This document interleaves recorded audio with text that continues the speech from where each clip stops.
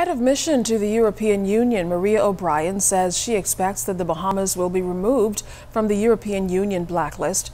As forecast, the Bahamas was placed on the EU blacklist, notwithstanding a series of reforms in financial legislation. Attorney General Carl Bethel addressed the matter this week, noting he was surprised by the move since it was agreed that any such action would be discussed first. Here's what O'Brien told us about the decision. And the EU understands that the COVID 19 pandemic may have delayed our response in addressing the FATF blacklist.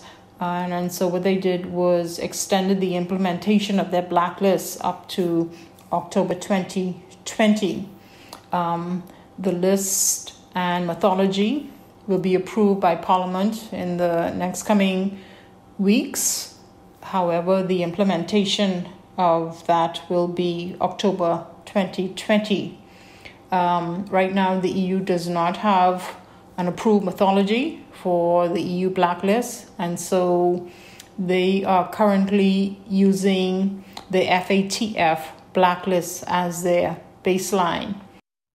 Now, O'Brien says she believes the Bahamas' removal from the list is imminent the Bahamas is in a position to resolve this immediately. And so the relevant agencies in the Bahamas has been advised of the EU position and it is in our best interest it's imperative we address the um, FATF listing as soon as possible. And with that, when that is completed, we will automatically be removed from the EU list. And so the EU has no issue.